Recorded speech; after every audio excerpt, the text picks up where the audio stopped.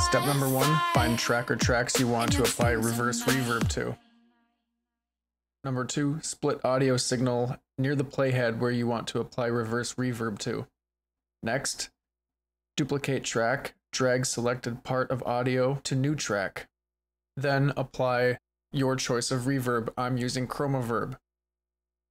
Apply a couple of seconds of decay and 100% wet on the reverb. Bounce in place.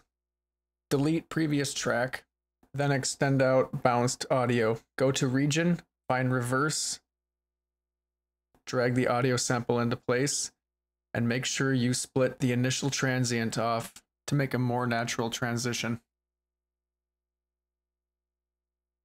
And voila, reverse reverb. Make sure you subscribe for more, like, hit that bell, and I'll see you in the comments.